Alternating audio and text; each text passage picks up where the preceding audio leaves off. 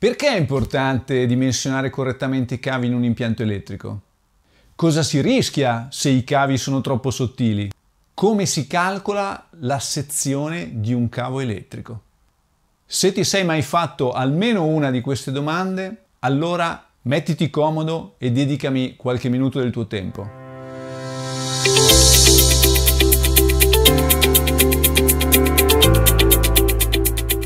Ciao a tutti ragazzi e bentornati sul canale del blog della vela. Io sono Roberto Minoia, oggi parleremo di dimensionamento dei cavi in un impianto elettrico. Perché è così importante dimensionare correttamente i cavi in un impianto elettrico?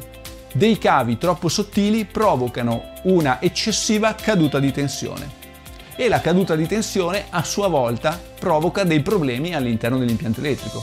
Tipicamente, per esempio, i problemi più grandi sono, eh, si manifestano sulla, sulla linea che eh, congiunge i vostri caricabatterie alle batterie, dove per caricabatterie intendo qualsiasi dispositivo atto a caricare le batterie, quindi l'alternatore, il caricabatteria a 220 volt, ma anche il regolatore solare, per esempio, no? Anch'esso è un caricabatterie. Bene, se il vostro caricabatterie eh, è convinto magari di eh, emettere una tensione di 14 volt e mezzo, quindi 14,5 volt, ma alla batteria ne arrivano 13,8, la vostra batteria non sarà contenta, quindi non si caricherà nel modo ehm, corretto oppure ci impiegherà moltissimo tempo a caricarsi fino al 100%, potrebbe non arrivare mai ad essere carica al 100%. Questa è solo una delle possibilità. L'alternatore è la stessa cosa, no? L'alternatore esce con 14,3 volt, ma alla fine a causa di un cavo sottodimensionato alla batteria arriva una tensione troppo bassa. La stessa cosa è tra la batteria e gli utilizzatori. Per esempio, non so, il, la batteria è a 12 volt e mezzo, deve alimentare il compressore di un frigorifero, il cavo è troppo sottile, al frigorifero non arrivano i 12 volt e mezzo, ma gliene arrivano 11 e mezzo. A questo punto il frigorifero non funziona più correttamente, magari per valori di tensione anche inferiori agli 11 volt e mezzo si ferma, va in blocco.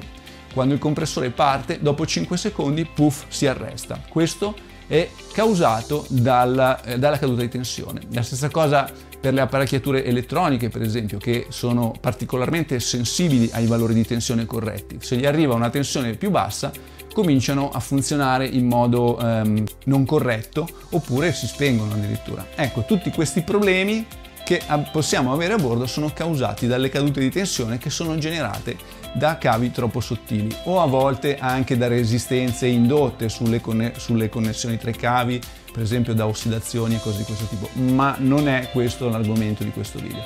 Oggi parliamo solamente del corretto dimensionamento dei cavi.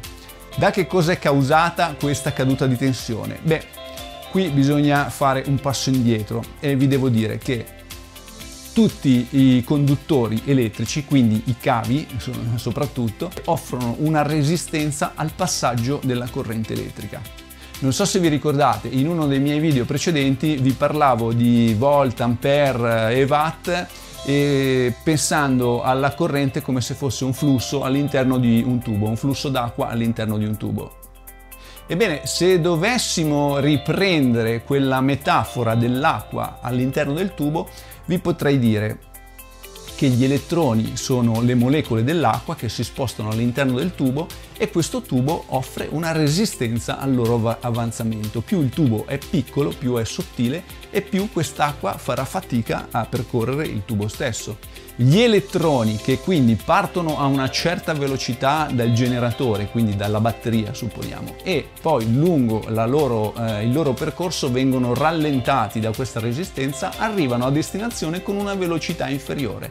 Questa differenza di velocità possiamo paragonarla a tutti gli effetti alla, alla nostra caduta di tensione. Quindi mi pare ovvio che per limitare al massimo la caduta di tensione dobbiamo fare in modo di minimizzare questa resistenza, cioè di usare dei cavi che diano una resistenza più bassa possibile.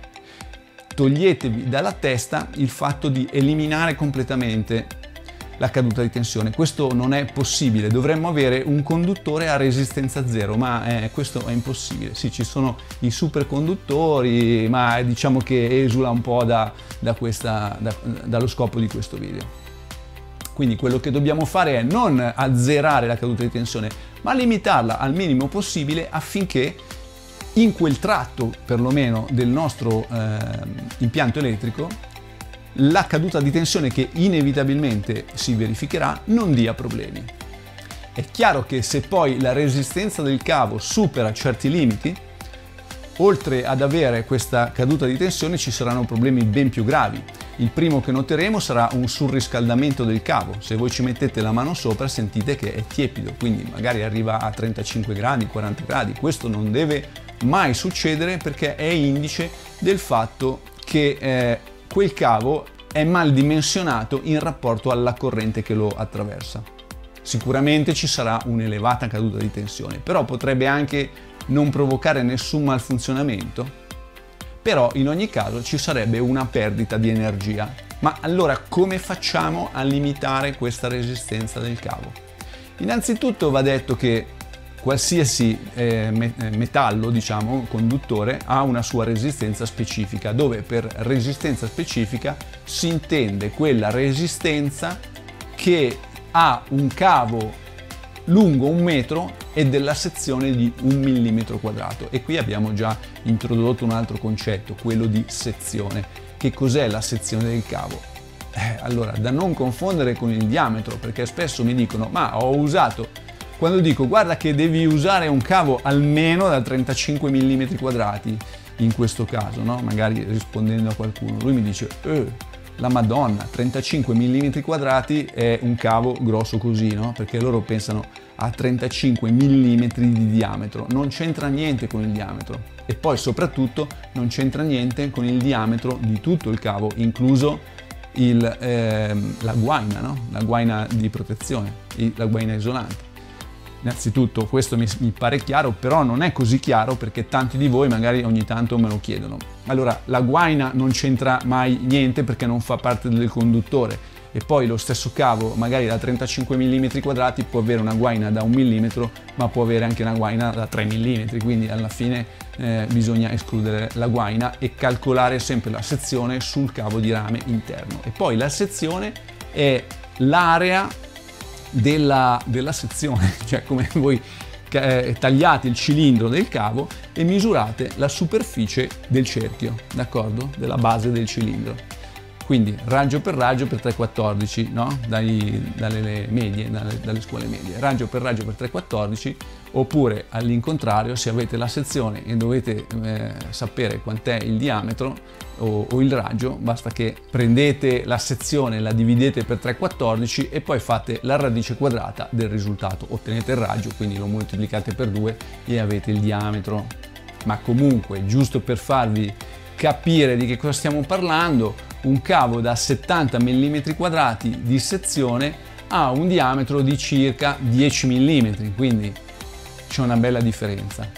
Quindi la resistenza specifica mi dà già un'idea del fatto che, per esempio, eh, un cavo di rame sia eh, migliore da utilizzare come conduttore rispetto a un cavo di alluminio o a un cavo, non so, di, di acciaio, no? Certo che sono tutti conduttori, però se andiamo a vedere la tabella delle resistenze specifiche, vediamo che per esempio la resistenza specifica del rame è di 0,017 ohm per millimetro quadrato su metro, mentre invece quella dell'alluminio è diversa ed è maggiore e quella del ferro, come vedete, quella dell'acciaio, come vedete, e addirittura 10 volte tanto. Quindi cosa significa? Che se io ho un cavo di rame lungo un metro e di una certa sezione avrò una certa resistenza. Se lo faccio eh, lo stesso cavo della stessa lunghezza, della stessa sezione, ma lo faccio di, eh, di acciaio, che non, non ha senso supponendo, avrò una resistenza che è 10 volte superiore. Ricordatevi sempre l'obiettivo nel nostro impianto elettrico è quello di ridurre al minimo la resistenza dei conduttori, quindi dei cavi elettrici. Per calcolare qual è la caduta di tensione del mio cavo, beh, è facilissimo, guardate, c'è la legge di Ohm. La legge di Ohm è la legge fondamentale dell'elettricità, la conoscete credo tutti, l'abbiamo studiata forse alle scuole medie E la legge di Ohm dice semplicemente che V è uguale a I per R, dove V è la tensione, quindi la nostra caduta di tensione che vogliamo calcolare, e per calcolarla dobbiamo prendere la I, che è l'intensità di corrente, cioè la corrente che eh, percorre il nostro cavo, e moltiplicarla per la sua resistenza. È facilissimo, ma veramente facile. Noi questi dati li abbiamo tutti, abbiamo eh, I perché I è la corrente che passa attraverso un cavo, quindi lo sappiamo, non so se abbiamo il frigorifero da 60 watt, sappiamo che su quel cavo quando il compressore è in funzione passerà una corrente di 5 ampere. E R, e R è la nostra incognita adesso che dobbiamo, che però adesso la sappiamo calcolare perché sappiamo che la resistenza specifica del cavo di rame è 0,017, ve lo ricordate? Ve l'ho detto prima. Quindi eh, la resistenza è data da questo numerino moltiplicato la lunghezza del cavo diviso la sezione. Per esempio, se ho 10 metri di cavo di rame da eh, 2 mm quadri di sezione, la sua resistenza sarà 0,017 moltiplicato 10 metri fa 0,17 diviso 2 mm quadri sono 0,085 d'accordo quindi questa è la resistenza in ohm di quei 10 metri di cavo di rame da 2 mm quadri di sezione. Da questa uh, formula che vedete balza subito all'occhio una cosa, che eh, la resistenza aumenta tanto più il cavo è lungo e la resistenza diminuisce tanto più il cavo è grosso, perché vedete che la lunghezza è al numeratore, quindi fa aumentare il risultato man mano che questa aumenta e invece la sezione è al denominatore, quindi più aumenta la sezione e più diminuisce il risultato alla fine della fiera come posso fare per diminuire la sezione, cioè scusate, per diminuire la resistenza del mio cavo elettrico? O riduco la lunghezza o aumento la sezione, faccio il cavo più grosso, oppure tutte e due le cose naturalmente. L'altra cosa che si vede dalla formula è che la caduta di tensione è direttamente proporzionale alla corrente che attraversa il conduttore. Vedete che c'è I, V uguale I per R. I è la corrente, quindi se eh, nel mio cavo, che supponiamo è lungo 10 metri e da 2 mm quadrati di sezione passano 2 A di corrente, avrò una certa caduta di tensione, ma se ne passano c- eh, 10 di ampere di corrente, avrò esattamente 5 volte la, la caduta di tensione che avevo facendo passare 2 A di corrente nello stesso cavo. Ecco perché i cavi eh, vanno correttamente dimensionati in funzione della corrente massima che li può attraversare. In pratica, se voi usate un cavettino, un, cioè un cavo eh, che va dalla batteria alle lampadine a LED che consumano pochissimo e quindi saranno, quel cavo sarà attraversato al massimo da mezzo ampere di corrente, non serve mettere un cavo da 35 mm quadrati perché voi non dovete andare a zero come caduta di tensione. Vi accontentate di un valore che di solito è intorno al 2-3%, quindi nei nostri 12 volt il 2% sarebbe 0,24 volt, il 3% 0,36 volt, d'accordo? Quindi 0,2-0,3 volt di caduta di tensione sono considerati eh, più o meno accettabili. Vi faccio un esempio eh, ho un caricabatterie da 30 A, no? ho un caricabatterie da 30 A che mi carica le mie batterie, supponiamo al litio, quindi 14,2 volt. 14,2 volt sono la tensione che il caricabatterie emette. Bene, eh, se ho un cavo da un metro che separa il caricabatterie dalle batterie, io devo considerare prima di tutto sempre due metri, perché un metro è l'andata e un metro il ritorno, cioè dovete sempre calcolare la lunghezza del cavo positivo e, la, sommarla alla lunghezza del cavo negativo. Normalmente sono due misure uguali, quindi 1 più 1, 2 metri. Ok, questi due metri, se metto un cavo eh, di sezione 10 mm quadri, supponiamo, mi daranno una certa caduta di tensione. Calcoliamola. Allora, prendiamo la resistenza specifica del rame 0,017, la, moltipli- la moltiplichiamo per la lunghezza del cavo 2 metri e la dividiamo per 10 che sono i millimetri quadrati della sezione del cavo. Allora abbiamo che questo cavo avrà una resistenza di 0,0034 ohm. Benissimo, adesso per la legge di ohm, V uguale I per R, dobbiamo semplicemente moltiplicare questa resistenza per gli ampere che passano attraverso il cavo. Gli ampere sono 30, quindi moltiplichiamo per 30 e vediamo che la caduta di tensione sarà di 0,10, quindi un decimo di volt, che è una caduta di tensione totalmente accettabile. Se però la lunghezza dei cavi, invece che avere il, il, il eh, caricabatterie a un metro di distanza dalle nostre batterie, l'avessi a 5 metri, allora i metri di cavo sarebbero 5 più 5, 10 metri in totale.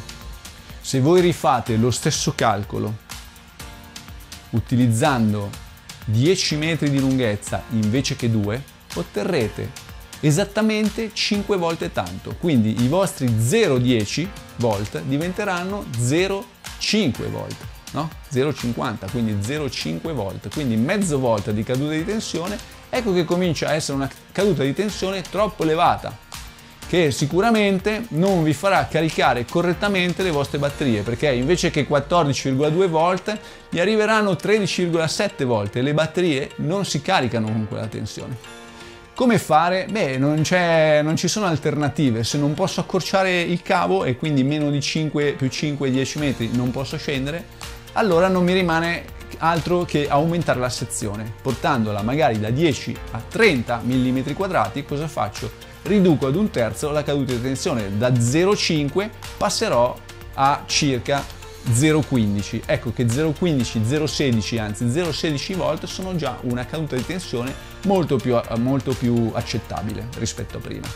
Quindi riepilogo, per calcolare la caduta di tensione di un cavo lungo L metri e con sezione S millimetri quadrati mi basterà moltiplicare la resistenza specifica, cioè 0,017, moltiplicato la lunghezza L, diviso la superficie della sezione S e moltiplicare il risultato per la corrente che attraverserà il nostro cavo.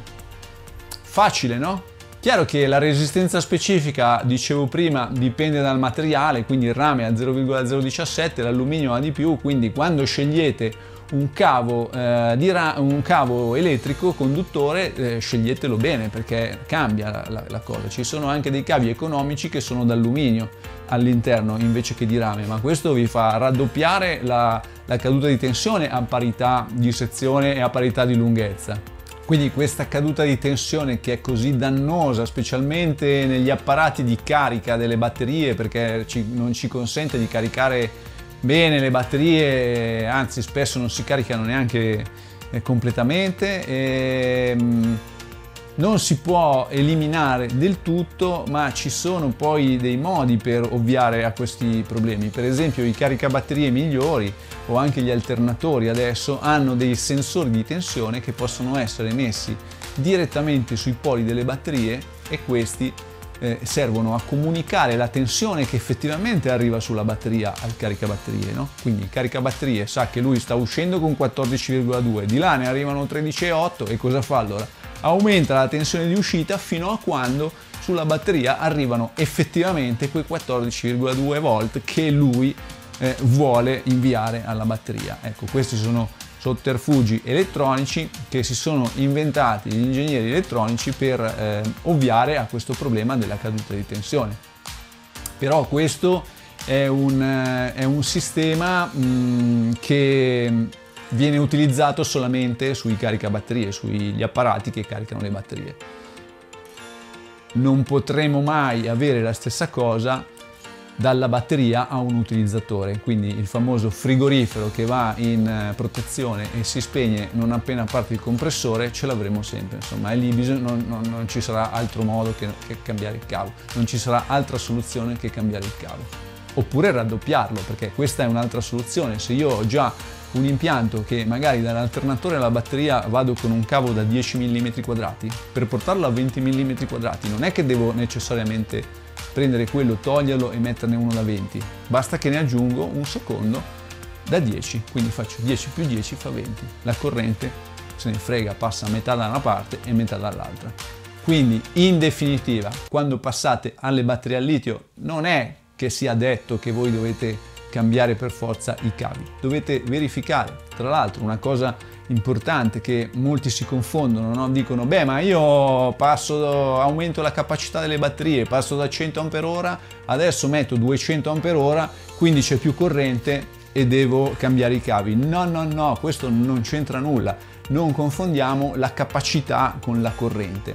Cioè la corrente che va dalle batterie ai vostri utilizzatori sarà sempre la stessa di prima se non cambiate gli utilizzatori, cioè se usate la pompa autoclave o il frigorifero, che il frigorifero da 60 watt, quindi a 12 volt sono 5 ampere, sarà 5 ampere sia che voi abbiate le batterie da 100 ampere ora, sia che le abbiate da 1000 ampere ora. Da quel punto di vista non cambia nulla. Quello che cambia è che la batteria al litio assorbe molta più corrente in fase di carica, quindi dall'alternatore, dal caricabatterie se cambiate ovviamente anche il, caricabatterie e ne mettete uno più potente, no? allora in quel caso dovete stare molto attenti a questo incremento di corrente che passa lungo il cavo. Se eh, magari prima dall'alternatore alla vostra batteria AGM avevate un cavo da 6 mm quadrati, a volte se ne vedono da 6 mm quadrati che però portava 15 A e quindi gli bastava tutto sommato la caduta di tensione non era così elevata però se eh, passate da 15 A eh, mettendo una batteria al litio gliene mandate 50 di ampere è chiaro che la caduta di tensione sarà tre volte maggiore rispetto ai 15 no? e quindi lì in quel caso la sezione del cavo se volete mantenere la stessa caduta di tensione di prima dovrà triplicare quindi questi, quei vostri 6 eh, mm quadrati devono diventare 18 20 25 in genere se voi siete nel dubbio aumentate perché avere un cavo di sezione eh, troppo bassa può provocarvi dei problemi avere un cavo di sezione troppo grande troppo elevata di problemi non ne causerà mai se non al portafogli perché il rame costa tanto e quindi i cavi più grossi sono e più costano però io sono dell'idea che è meglio fare le cose una volta sola e farle bene no? Ok, con questa vi saluto, spero di non avervi confuso troppo le idee perché gli argomenti erano un po' semplici ma difficili da sequenzializzare e mettere bene in fila. Mi raccomando abbonatevi al canale, iscrivetevi al canale, il prossimo video sarà un video eh, in cui vi spiegherò delle bus bar, dei fusibili, come si calcolano i fusibili, dove metterli in modo tale da fare un impianto elettrico anche ordinato e bello da vedere, perché no? Perché come diceva un mio caro amico, l'ordine è ricchezza, il disordine è povertà, ricordatevelo.